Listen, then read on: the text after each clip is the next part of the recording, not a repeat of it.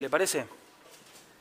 ¿Qué tal, Lionel? ¿Cómo andás? Muy buenas tardes. Eh, Fernando Cis para Disports y Doble Amarilla, eh, Disport Radio y Doble Amarilla. Eh, te quería consultar por em, la- lo que te ha dejado el partido, el empate frente a Maturín, y si hay algunos jugadores que por la, por la carga que han tenido de jugar en un terreno tan complicado, eh, lo has tenido que recuperar, y si están todos a disposición, y cuál es la situación de Alexis. Gracias.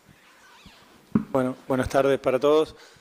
Eh, bueno, el partido ya, ya todos vieron lo que fue, en las condiciones que se jugaron, eh, que se jugó, perdón, y bueno, y además hay que agregarle el viaje, que el viaje, todos saben, la vuelta fue un poco difícil, con una escala muy, muy larga en Barranquilla, eh, bueno, un viaje bastante cansador y recién ayer pudimos hacer algo con, los, con todo el equipo, y hoy haremos eh, el entrenamiento final para definir eh, el equipo. Eh, Alexis ayer entrenó normal y, hoy tomaremos la decisión si está, si está para jugar.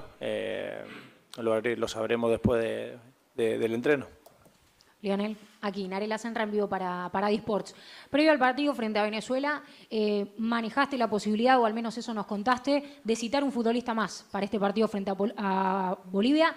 ¿Por qué desististe de la idea? Si es que en algún momento lo pensaste seriamente. Y si viendo la selección de Mascherano, la sub-20, pensaste quizás en co- convocar a algún juvenil. Gracias. Bueno, ante la pregunta si valorábamos, sí, lo, lo valoramos en, función de cómo, mm, veíamos a los jugadores después del viaje, después del partido. La mayoría o casi todos respondieron bien y no había necesidad. En cualquier caso, teníamos la, la sub-20 para poder tirar de alguno de ellos si era necesario, lógicamente previo ok de los clubes. Por eso hemos ido a ver los partidos. Eh, y consideramos que no, que no hacía falta. Eh, después esto es, como siempre, después, eh, después del partido de Bolivia ve- veremos si fue acertado o no, pero en principio creo que estamos bien, numéricamente estamos bien y no, no, no haría falta. Leonel, ¿cómo te va? Estamos acá en vivo para, para Sports. Bueno, sé que es una pregunta recurrente la de, la de los delanteros. En esta ocasión tenés poco recambio por, por los lesionados que, que- han, sufrido en la, convocatoria. Eh, nunca se dio esto de, Leonel con Lautaro y con Julián, sí Lautaro y Julián con Ángel o con Nico. Eh, si es una posibilidad que verla los tres juntos, por quizás el rival también que imaginamos que va a venir a defenderse. ¿Y, y cómo manejás esto de Lautaro, que está con la posibilidad de tener el balón de oro y quizás a veces no le toca jugar? Eso también cómo, cómo lo tenés un, un delantero tan importante que a veces quizás no le toca sumar tantos minutos. Eh, en, principio eh, valoramos la posibilidad de poder jugar, sí, con, con ellos. Eh, también está la posibilidad de, que no, de que juegue un solo, un solo delantero. En la Copa América del 2019 juegan el Kun, Lautaro y Leo y, y lo hemos hecho. Es verdad que ha pasado tiempo y, y estamos abiertos a poder hacerlo y, y puede ser una, una posibilidad. En cuanto a la posibilidad de Lautaro del Balón de Oro, bueno, ¿qué voy a decir yo? Soy su entrenador y creo que ha hecho un año espectacular, ha hecho el gol en la final, eh, ha sido el goleador de la Copa y lo merece más que nadie. Eh, ojalá, ojalá se le pueda dar, Ese es un chico que además lo aprecio un montón, ha estado del minuto cero con nosotros y ojalá se le, se le pueda dar eh, esta posibilidad que, que seguramente si no es ahora será más adelante porque tiene un futuro enorme todavía. Acá Leonel, ¿qué tal? Rama Pantoroto para Fox Sports. Acá, ¿cómo te va? Eh, quiero preguntarte por el rival. ¿Qué, qué partido te imaginás o crees que va a ser Bolivia, digamos, esta Bolivia que viene de, de sorprender en- de buena manera, digo, porque viene de ganar tres partidos consecutivos y que viene al Estadio Monumental con la idea y con el sueño, imagino, de hacer historia? Bueno, como siempre pensamos que más allá de, quién tengamos adelante, eh, el máximo respeto eh, y encima que vienen bien, vienen, vienen ganando seguido y un cambio de entrenador que, que- que les ha hecho bien y tiene jugadores de buen pie, juegan bien. No nos podemos confiar bajo ningún concepto, esa es la primera palabra y, y después que en algún momento del partido seguramente ellos puedan tener la pelota, tienen cinco centrocampistas de buen pie eh, y tenemos que estar preparados para eso y preparados para no solo que ellos se vengan a defender, porque es un equipo que, también sale rápido de contra, o sea que tiene sus armas y las estudiamos y hay que, hay que estar atentos porque es un rival eh, a tener en cuenta. Lionel, buenas tardes. Eh, acá Gustavo Charroch para Radio La Red y el canal ESPN. Te quiero preguntar por Valentín Carboni, que sufrió una grave lesión, si pudiste hablar con él, cómo lo encontraste, cómo está Valentín después de la lesión.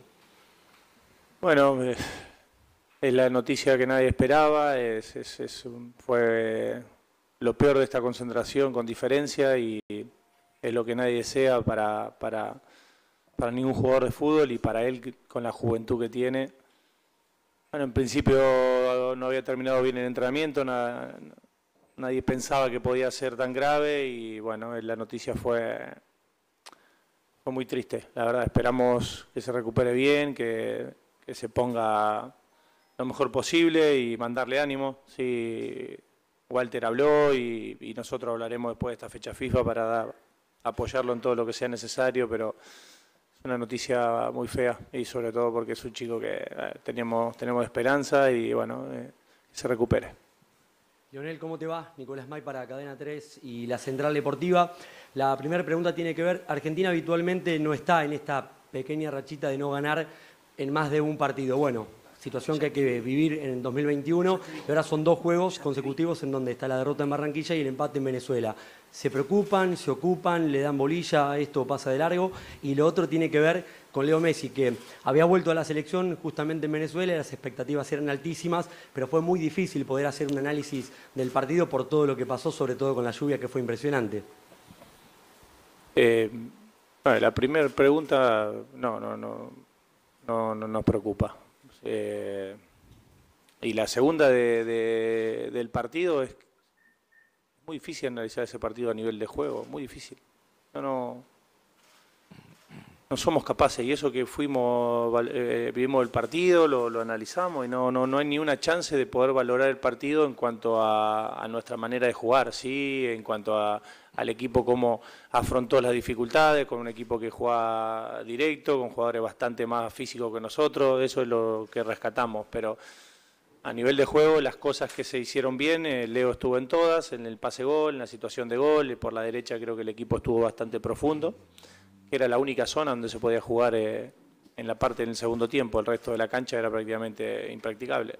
Así que estamos bien. Leonel, Néstor Clivati, aquí, ¿qué tal?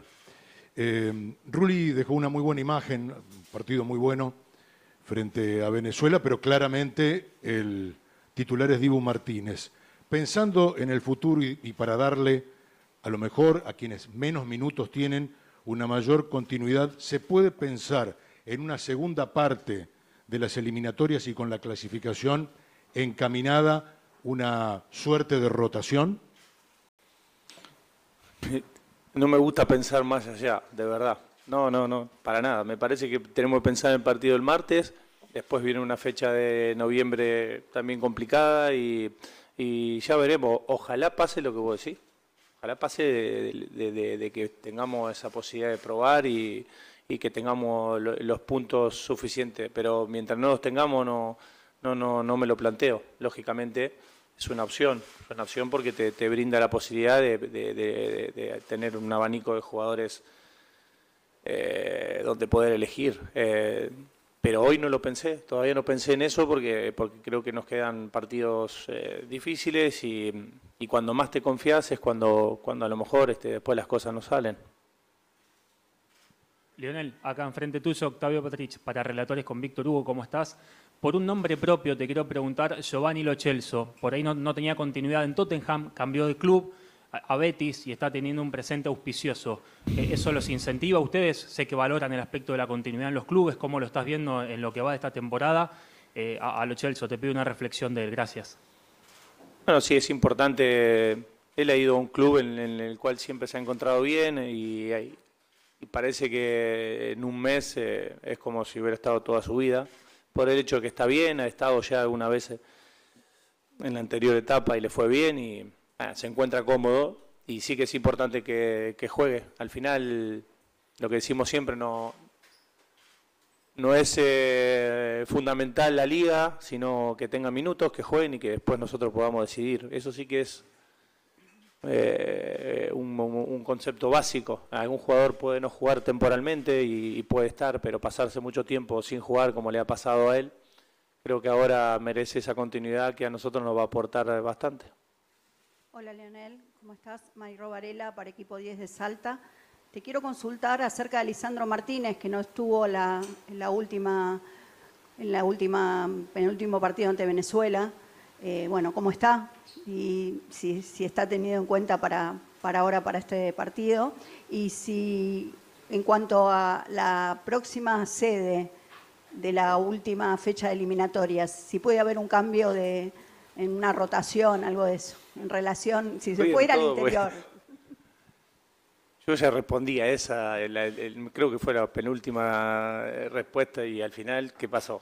¿A ¿Dónde vamos? Yo ya dije lo que tenía que decir. La de Lisandro, bueno, está bien, Lisandro no jugó porque decidimos que juegue Ota. eh, y lo que siempre decimos, decidimos por lo que, lo que vemos, lo que creemos, y a, veces nos equivocamos, a veces no, pero Licha está bien y no tiene ningún problema. Y tendrá ganas de jugar y ya decidiremos, pero, le- pero ha jugado Ota porque lo veíamos bien y queríamos que era un partido para que él pueda jugar y ha respondido bien. Acá a Lionel, Augusto Raquijar, buenas tardes, de Canal 12 Chubut y FM del Viento. Hablaste de la lista más corta que en otras oportunidades, hablaste de Carboni, eh, jugó Valerdi, que en la otra vez había estado lesionado y no pudo jugar. eh, ¿Pensás esta rotación de ir teniendo minutos con los chicos y manejarlos de esta manera? Hay varios que no estuvieron convocados, por ejemplo, ahora, entonces, ¿cómo vas manejando esto? Si es algo en el momento que llega la fecha FIFA o si lo vas programando de esta manera de tenerlos, mirarlos y después puntualmente en base al rival eh, que tengan algunos minutos. Muchas gracias. No, las convocatorias eh, van en base a, partido a partido. Eh, los chicos jóvenes también. Eh, vino Nico Paz porque me parece que está teniendo un presente muy bueno y sí es verdad que habíamos quedado con el entrenador de, de su equipo, con que, había que llevarlo de a poco, me parece correcto porque es un chico que ha pegado un salto increíble, pero necesitamos que se entrene con nosotros. Y ante las bajas ha tenido que estar, ha tenido que ir al banco y bueno, y hoy está con nosotros. Eh, fue el único jugador que más o menos habíamos planificado algo. Eh, los demás eh, vamos a ir trayéndolo en base a lo que creamos. Se nos cayó Nico González, este, en un momento en el cual no podíamos traer jugadores por el tema del viaje, algunos no tenían la visa, otros no podían llegar a Maturí. Fue una, muy difícil esta, esta, esta convocatoria. Y lo que siempre decimos, eh, la ley de Murphy, cuando haces una convocatoria larga no, no cae ninguno y cuando haces una convocatoria corta se empiezan a caer. Bueno, es lo que hay, pero nos afrontamos y no nos quejamos, al contrario, estamos contentos y afrontamos la situación como venga. Eh, Radio Ciudad Venado, sobre esto último, preguntarte si fue la logística más compleja del ciclo. Es que nunca sabes cuando, cuando tenés que decidir la logística, después, claro, todo muy fácil. Después te dice, ¿y por qué no se quedaron en Argentina? ¿Y por qué no? Pero de Argentina nosotros, si, si veníamos de, de Europa para, para acá, llegaban los chicos el martes a la mañana, eh, entrenamos y nos teníamos que ir de ocho horas de vuelo a, el día anterior al partido. Con el tiempo nos empezamos a enterar de que nos negaron algunos permisos, de que no se podía salir de Estados Unidos eh, directamente, que había que cambiar el avión eh, sí o sí en Barranquilla, eh, son todas complicaciones que surgieron después y la logística estaba hecha, la utilería, el viaje de la gente y bueno, agachar la cabeza y la predisposición de los jugadores, siempre decimos lo mismo, al final la predisposición de ellos fue muy buena, aguantar eh, lo que venía, porque por otra parte era lo que había, no había plan, no había, no había otra manera.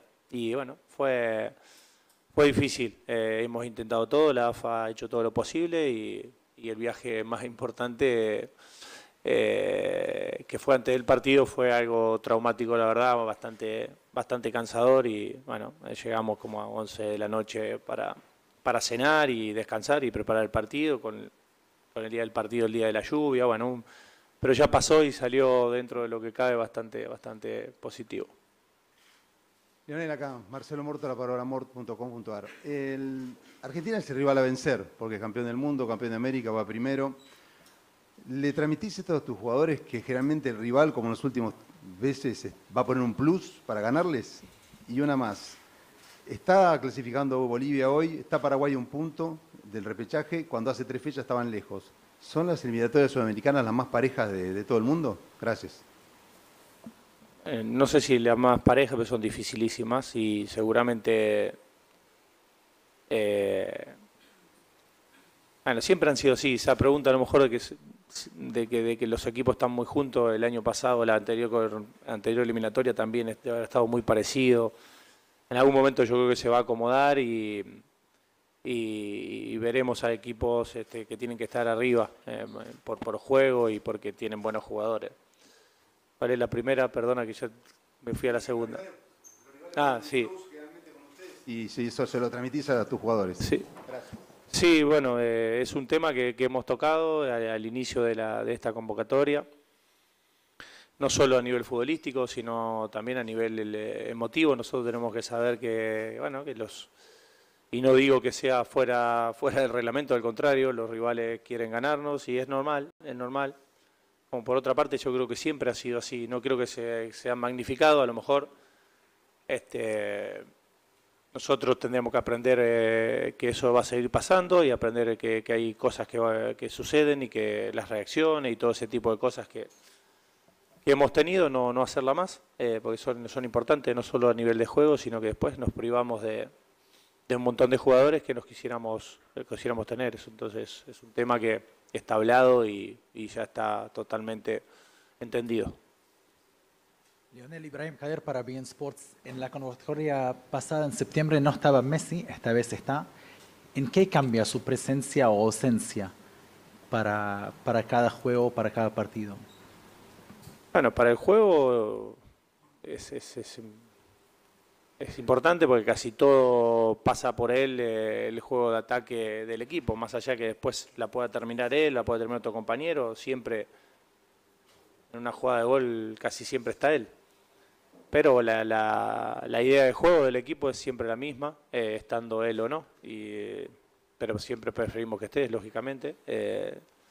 Pero nuestra idea, nuestro concepto futbolístico no cambia eh, según quien esté dentro de la cancha. Ya tenemos una manera de jugar y, y ante las ausencias creo que intentamos siempre, con algunos matices, jugar de la misma manera.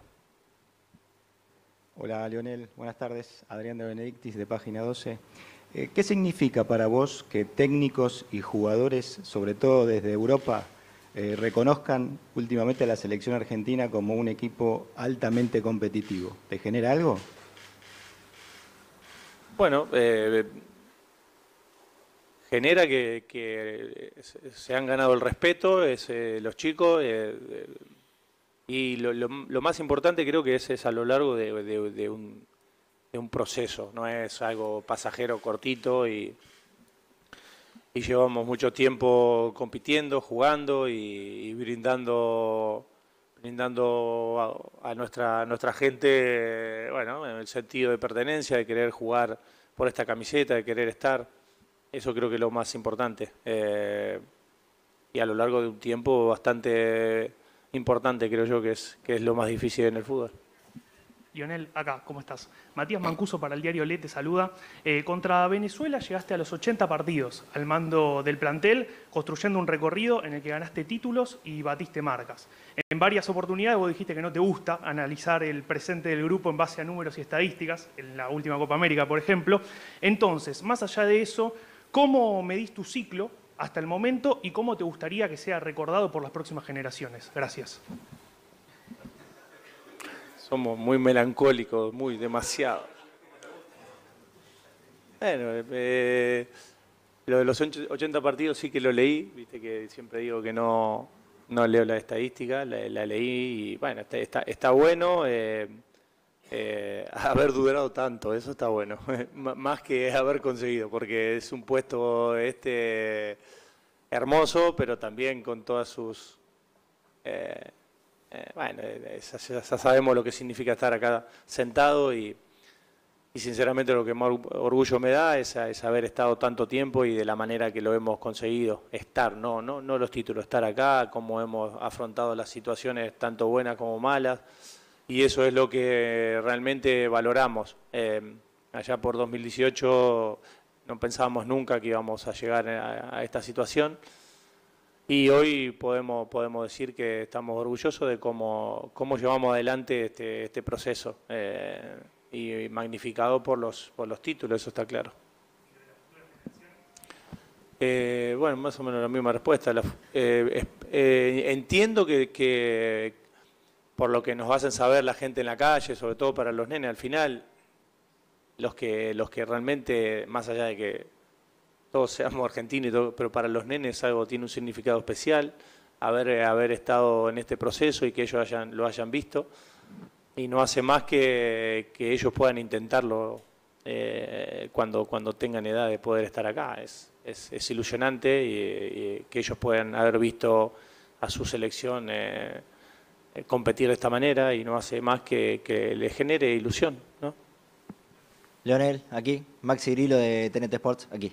Eh, venimos de un campo complicado como el de Venezuela y, mañana a priori las primeras fotos que aparecen del Monumental parece estar bien, pero me gustaría saber qué, qué sabes vos. Y después también de una logística complicada, por ahí estaban cansados y demás, sin embargo se quedaron a ver en gran parte el partido de la sub-20 y creo que se ha generado una sinergia entre eh, cuerpo técnico de la mayor, la sub-23, la sub-20, eh, la sub-17. ¿Esto fue buscado o se da naturalmente que haya toda una estructura relacionada? Eh, el césped creo que está bien porque no- nos dijeron que hay un método nuevo ahora. No soy técnicamente bueno para esto, pero que hay una técnica nueva que después eh, que se pone entre el césped y, y donde va a estar la gente y, aparentemente el césped está bien. Entonces eh, esto es positivo. La cancha de River siempre estuvo perfecta y, y eso es la información que tenemos.